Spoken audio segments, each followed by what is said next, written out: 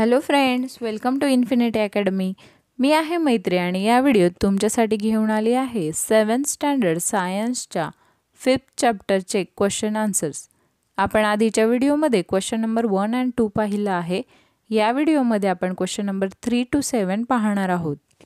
तुम्हाला व्हिडिओची अजून कुठली रिक्वायरमेंट असेल तर मला कमेंट करून नक्की सांगा.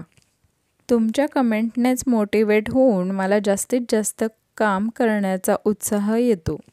असाच चॅनलला सपोर्ट करा आणि तुमच्या फ्रेंडसोबत व्हिडिओ शेअर करत चला. चला तर मग सुरुवात करूया. थर्ड क्वेश्चन आपल्याला विचारलं आहे व्हॉट शाल वी डू आपण अशा वेळी काय केलं पाहिजे? पुढे आपल्याला काही सिच्युएशन्स दिल्या आहेत त्यावेळी आपण काय करणार? हे सांगायचं आहे पहिली सिच्युएशन बघा. There are vendors selling uncovered sweetmeats in open place in the market. बघा मिठाईवाले उघड्यावर मिठाई विकत आहेत. तर अशा वेळेला आपण काय करणार? आन्सरचा फर्स्ट पॉईंट बघा. We should avoid eating this uncovered foods as they are not safe पहिली गोष्ट तर आपण असं जे फूड असेल ते खाणं टाळलं पाहिजे. कारण ते आपल्या हेल्थसाठी चांगलं असेल का नाही? नेक्स्ट पॉईंट बघा.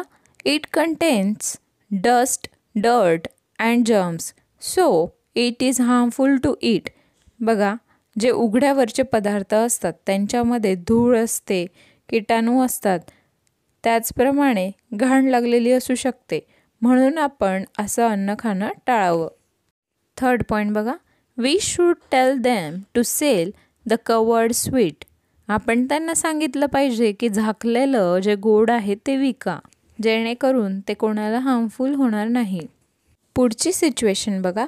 A पाणीपुरीवाला is serving the panipuri with dirty hands पाणीपुरीवाला जो आहे तो अस्वच्छ हातांनी पाणीपुरी वाढत आहे. तर अशा वेळेला आपण काय करणार? पाणीपुरी सगळ्यांना आवडते ना?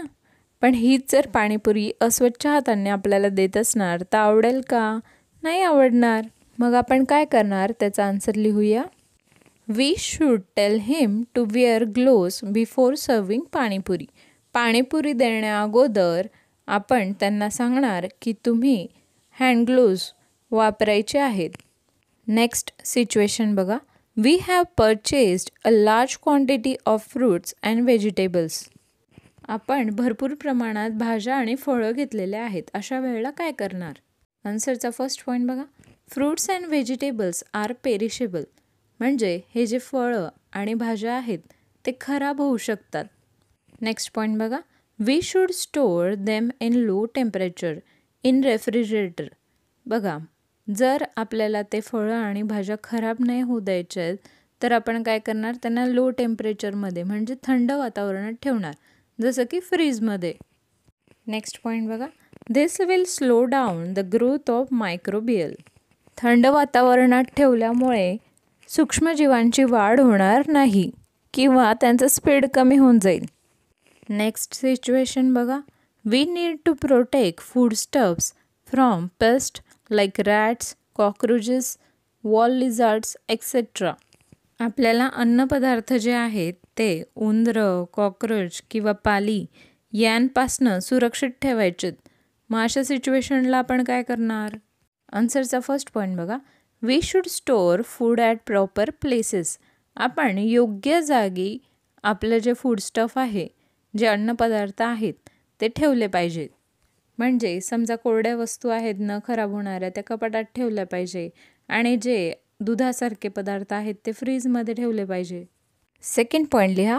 Cover the food with a proper lid so that pest do not spoil food आपण अन्नपदार्थ योग्य पद्धतीने झाकून ठेवले पाहिजे. म्हणजे जे पेस्ट आहेत ते खराब नाही करणार. आता बघा जर गोड लाडू आहेत घरात तर ते डब्यात व्यवस्थित झाकून ठेवले पाहिजे. म्हणजे मुंगे लागतील का? नाही लागणार. गहू बाजरीसारखे जे धान्य आहेत ते कोठीत पॅक करून ठेवायला हवे. म्हणजे ते खराब होणार नाही उंदरांकडून नेक्स्ट फोर्थ क्वेश्चन आपल्याला विचारलं आहे find the odd one out. गटात न बसलेला आपल्याला वेगळा काढायचा आहे त्यात आपल्याला फर्स्ट दिलेला आहे salt vinegar citric acid sodium benzoate तर आन्सर आहे सॉल्ट कारण इतर सगळे जे आहेत ते प्रिझर्वेटिव्ज केमिकल प्रिझर्वेटिव्ज आहेत. आणि सॉल्ट हे नॅचरल प्रिझर्वेटिव्ह आहे. नेक्स्ट बघा. Lakhi dal brick dust metanil yellow turmeric powder तर आन्सर आहे टर्मरिक पावडर आपल्याला माहिती आहे इतर जे पदार्थ आहेत ते भेसळ करण्यासाठी वापरले जाणारे पदार्थ आहे. पण टर्मरिक पावडर हे भेसळयुक्त पदार्थ नाही आहे आता बघा ब्रिक डस्ट म्हणजे आपली वीट असते विटेची पावडर ही आपलं जे लाल तिखट असतं वापरायचं त्याच्यात मिक्स केलं जातं. टर्मरिक पावडर म्हणजे हळद. ती काही कुठली भेसळ आहे का? तर तो ओरिजिनल सबस्टन्स आहे. म्हणून तो ऑडवन आउट आहे. पुढचा आहे बनाना ॲपल ग्वावा अल्मंड. तर याचा आन्सर आहे अल्मंड. का? कारण की अल्मंड हे बरेच दिवस टिकतात ना. आता ॲपल ग्वावा बनाना म्हणजे केळी वगैरे सफरचंद हे सगळे पेरिशेबल आहेत. अल्मंड आहे का पेरिशेबल नाही. बघा गटात न बसणारा घटक आपण काढण्यासाठी कुठलंही कारणं देऊ शकतो. पण आपलं चॅप्टर काय आहे? फूड सेफ्टी त्या पॉईंट ऑफ व्ह्यूने आपण ऑड वन आऊट काढायचं आहे. नेक्स्ट आहे स्टोरिंग फ्रीजिंग सेटलिंग ड्राईंग तर याचा आन्सर आहे सेटलिंग इतर ज्या गोष्टी आहेत त्या अन्न टिकवण्याच्या पद्धती आहे जसं स्टोरिंग फ्रीजिंग ड्राईंग पण सेटलिंग ही काही अन्न टिकवण्याची पद्धत नाही म्हणून ती ऑडवन आऊट आहे. पुढचा प्रश्न आहे कंप्लीट द चार्ट बिलो पुढचा चार्ट आपल्याला पूर्ण करायचा आहे. एका साईडला आपल्याला फूड स्टफ म्हणजे पदार्थ आणि दुसऱ्या साईडला अडल्ट्रेशन म्हणजे भेसळ कस केली जाते ते दिलेलं आहे. पहिल्या ऑप्शनमध्ये आपल्याला अडल्ट्रेशनमध्ये दिलं आहे मेटल अँड येल्लो आणि फूड स्टफ काय येणार त्याचं? तर आन्सर आहे टर्मरिक पावडर टर्मरिक पावडरमध्ये ही पिवळ्या पावडरची भेसळ केली जाते. सेकंड आहे ब्लॅक पेपर त्याचं अडल्ट्रेशन आहे ड्राईड पपया सीड म्हणजे पपईच्या कोरड्या केलेल्या बिया. किंवा तुम्ही सीड्स ऑफ पपयासुद्धा लिहू शकतात. स्वयंपाकात काळी मिरी वापरतात ना तर त्याच्यामध्ये भेसळ असते पपया सीड्सची आयन फिलिंग अडल्ट्रेशन आहे आयन फिलिंग मग ते कशात केलं जातं? आन्सर आहे रवा. रव्यामध्ये लोखंडी तुकड्यांचा भुगा टाकला जातो. नेक्स्ट आहे हनी त्यामध्ये शुगर किंवा जॅगरी म्हणजे साखर किंवा गूळ मिक्स केला जातो. अशा पद्धतीने विविध पदार्थांमध्ये अशी भेसळ केली जाते. नेक्स्ट क्वेश्चन आपल्याला दिला explain why this happens and suggest possible remedies आपल्याला पुढे काही सिच्युएशन्स दिल्या आहेत त्या कशामुळे होतात आणि त्या नको व्हायला म्हणून काय करायला हवं हे विचारलं आहे पहिलं आपल्याला दिलं आहे क्वालिटेटिव्ह वेस्टेज ऑफ फूड म्हणजे एखाद्या पदार्थाची क्वालिटी खराब झाल्यामुळे ते फूड वाया जाणं. याला म्हणतात क्वालिटेटिव्ह वेस्टेज ऑफ फूड पहिले आपण वाय दिस आपण लिहूयात फर्स्ट पॉईंट बघा. फूड वेस्ट का होतं? क्वालिटी खराब झाल्यामुळे. Wrong methods of protecting food food जे आहे ते प्रोटेक्ट करायची. जर चुकीची पद्धत वापरली तर त्याची क्वालिटेटिव्ह वेस्टेज होतो. सेकंड ओव्हर कुकिंग एखादा पदार्थ जास्त वेळ शिजवला तरी त्यातले सत्व जातात आणि मग ते पदार्थ वेस्ट होतात. थर्ड पॉईंट आहे मॅक्झिमम यूज ऑफ प्रिझर्वेटिव्ह पदार्थ जास्त वेळ टिकून राहण्यासाठी जास्तीत जास्त प्रिझर्वेटिव्हचा वापर केला जातो. त्यामुळे त्याची क्वालिटी वेस्ट होते.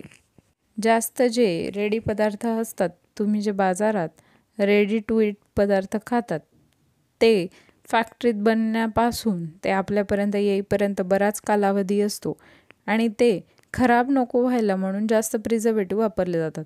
त्यामुळे त्यातनं जे सत्व मिळणार असतात ते मिळत नाहीत. नेक्स्ट आहे मिस हँडलिंग म्हणजे जर एखादा पदार्थ व्यवस्थित हँडल नाही झाला जसं की फळं आहेत एका ठिकाणाहून दुसऱ्या ठिकाणी नेताना जोरात ठेवले गेले किंवा दाबले गेले याला म्हणतात मिसहँडलिंग त्यामुळे ते खराब होतात. म्हणजेच त्याचं क्वालिटी वेस्टेज होतो. आता आपण पॉसिबल रेमेडीज पाहणार आहोत. तर त्यात फर्स्ट आहे पहिलं आहे अवॉइड ओव्हर कुकिंग जास्त वेळ पदार्थ शिजवायचा नाही आहे सेकंड बघा store food stuff using proper method योग्य पद्धत वापरून आपण जे काही पदार्थ आहेत ते साठवायचे नेक्स्ट पॉईंट बघा wash fruits and vegetable before cutting कापण्याच्या पहिले आपल्याला फळं आणि भाज्या धुवायच्या आहेत. रेमेडीचा फोर पॉईंट बघा perishable food stuff should be handle with care जे खराब होणारं नासणारं आहे ते व्यवस्थित हळूवार हँडल केलं पाहिजे. नेक्स्ट बघा आपल्याला सिच्युएशन दिली आहे the cook rice is underdone म्हणजे भात बनलेला आहे तर पण तो पूर्ण शिजलेला नाही आहे तर आपण पहिले वाय दिस हॅपन हे का झालं हे पाहूयात. आन्सर लिहा. Rice remains underdone due to lack of water or lack of heat or steam भात कच्चा का राहतो? त्यामध्ये काही वेळेला पाणी कमी राहून जातं. म्हणजे पाणी कमी टाकलं गेलं तर भात पूर्ण नीट शिजत नाही. किंवा जर त्याला उष्णता नीट नाही मिळाली आहे. म्हणजे जर कमी वेळ तुम्ही गॅस चालू ठेवला तर तो पूर्ण नीट शिजेल का? नाही शिजणार. त्याला हवी तेवढी वाफ मिळणार नाही. त्याला पॉसिबल रेमेडीज काय ते आपण पाहूयात. तर पहिलं आहे add adequate amount of water म्हणजे आपण योग्य प्रमाणात पाणी दिलं पाहिजे. दुसरा उपाय म्हणजे it should be cooked with proper amount of heat योग्य प्रमाणात उष्णता देऊन त्याला शिजवलं पाहिजे. पुढची सिच्युएशन आपल्याला दिली. The wheat that was brought is a bit moist म्हणजे आपण जो बाजारातनं गहू विकत आणलेला आहे तो थोडा ओलसर आहे. पहिले आपण वाय दिस हॅपन लिहूया. हे कशामुळे झालं ते बघूया. It can be happen because of sudden rain अचानक आलेल्या पावसामुळे हे होऊ शकतं. समजा शेतकऱ्याने गहू काढला आहे आणि अचानक पाऊस आला तर तो गहू थोडा ओला होऊ शकतो. त्यावर पॉसिबल रेमेडीज आपण लिहूया. Dry the wheat under the sun to remove the moist from it आपल्याला गहू जो आहे तो सूर्याखाली. म्हणजे टेरेसवर वगैरे तुम्ही पसरवून ठेवायचा आहे जेणेकरून त्याच्यात जे मॉइस्ट आहे जो ओलावा आहे तो कोरडं होईल. तुम्ही बऱ्याचदा बघितलं असेल घरात उन्हाळ्याच्या वेळेस जेव्हा गहू भरला जातो तेव्हा त्याला ऊन दाखवलं जातं. नेक्स्ट सिच्युएशन बघा. The taste of yogurt is too sour slightly bitter तुम्ही काही वेळेला दही जे आहे ते खूपच आंबट असं टेस्ट केलं असेल तर हे का होतं? आपण वाय दिस हॅपन्स हे लिहूया. This can be happen if yogurt is not store in low temperature जर दही जे आहे ते थंड वातावरणात ठेवलं नाही तर त्यातल्या मायक्रो ऑर्गॅनिझम्सची वाढ झपाट्याने होते. त्यामुळे ते आंबट लागतं. म्हणून हे कशामुळे होतं? तर आपण लो टेम्परेचरमध्ये दही नाही ठेवलं त्यामुळे ते आंबट होतं. त्याला रेमेडी लिहायची आहे. Store yogurt at low temperature दही जे आहे ते कमी तापमानात ठेवायचे म्हणजे फ्रीजमध्ये वगैरे ठेवायचे. जेणेकरून त्यात होणारी मायक्रोब्सची वाढ ही स्लो डाऊन होईल. नेक्स्ट सिच्युएशन काय दिली बघा? Cut fruits have turn black आपण जी कापून ठेवलेली फळं असतात ती काही वेळानंतर काळ्या रंगाची दिसतात. तर हे कशामुळे होतं? वाय दिस हॅपन लिहूया. Cut fruits react with oxygen in the air and forms a sort of rust on surface of the fruit so it turns black कापलेल्या फळांचा जो पृष्ठभाग असतो त्याची रिॲक्शन हवेतील ऑक्सिजनशी होते. त्यामुळे फळाचा जो पृष्ठभाग आहे कापलेला तो गंजल्यासारखा होतो. पॉसिबल रेमेडीमध्ये फर्स्ट लिहा immediately consume the fruit after cutting them. म्हणजे फळ कापल्यानंतर आपण ते लगेच खाऊन घ्यायचे म्हणजे ऑक्सिजनसोबत त्याची रिॲक्शन होणार नाही आणि ते काळपट पडणार नाही. सेकंड पॉईंट बघा. Add lemon juice or sugar syrup on fruit. फळावर आपण लिंबूचा रस टाकू शकतो किंवा शुगर सिरप टाकू शकतो जेणेकरून फ्रूट खराब होणार नाही. नेक्स्ट सेवन्थ क्वेश्चन आपल्याला विचारलं आहे गिव रिझन्स. फर्स्ट आपल्याला दिलं आहे food materials safe at five degree celsius. जे खाण्याचे पदार्थ असतात ते फाय डिग्री सेल्सिअसला सेफ असतात म्हणजे खराब होत नाही. आन्सरचा फर्स्ट पॉईंट लिहा at five degree celsius biological and chemical reaction in food materials are slowed down. म्हणजे जेव्हा टेम्परेचर कमी असतं तापमान कमी असतं त्यावेळेला बायोलॉजिकल आणि केमिकल ज्या रिॲक्शन फळांमध्ये किंवा अन्नपदार्थांमध्ये होतात त्या अगदी स्लो डाऊन होतात. Hence food stays in good condition for a longer period अधिक काळासाठी त्यामुळे फळं हे चांगल्या कंडिशनमध्ये राहतात. लवकर खराब होत नाहीत. सेकंड बघा आपल्याला दिलं आहे nowadays food is serve buffet style during large gatherings म्हणजे जेव्हा मोठे समारंभ होतात त्यावेळेला बफे स्टाईलमध्ये म्हणजे स्टॉल्स लावलेले असतात आणि आपण स्वतः तिथे प्लेट घेऊन जायचं आणि आपल्याला हवं तेवढं घ्यायचं. अशा पद्धतीने फुल फूड हे सर्व केलं जातं. तर हे का? फर्स्ट पॉईंट लिहा. Due to buffet style quantitative wastage of food can be avoided अन्नाचं जे जास्त प्रमाणात नुकसान व्हायचं किंवा अन्न वाया जायचं ते ह्या स्टाईलमुळे कमी वाया जातं. बघा प्रत्येकजण आपल्याला लागतं तेवढंच अन्न जाऊन घेतो. त्यामुळे जे जास्तीचं अन्न वाया जातं ते होत नाही. पण बऱ्याच ठिकाणी आपण बघतो की बफे स्टाईलमध्ये काय केलं जातं? जास्तीचं अन्न घेऊन घेतात की परत जाऊन कोण घेईल म्हणून. आणि ज्या वेळेला ते जात नाही तेव्हा ते वेस्ट करतात. तर असं नाही करायचं. ह्या स्टाईलचं खरा मिनिंग असा आहे की तुम्हाला लागतं तेवढंच घ्या म्हणजे अन्न वाया जाणार नाही. सेकंड पॉईंट बघा. People take food only as much they could eat लोक खाऊ शकतील तेवढेच अन्नपदार्थ ताटात घेतात. त्यामुळे ते वाया जात नाही. तर हे होतं आपलं फिफ्थ चॅप्टर या आधीचे चॅप्टर आणि नंतरचे चॅप्टर मी चॅनलवर टाकलेले आहेत. त्याचप्रमाणे तुमची सायन्सची प्रॅक्टिकल बुक मॅथ्सची प्रॅक्टिकल बुक असे वेगवेगळे एज्युकेशनल तुमचे स्टँडर्डचे व्हिडिओ मी टाकलेले आहेत. तरी तुम्हाला काही रिक्वायरमेंट असेल तर मला कमेंट करून नक्की सांगा. तुम्हाला दिलेले निबंधही सांगा. त्याचेही व्हिडिओ मी चॅनलवर टाकेल.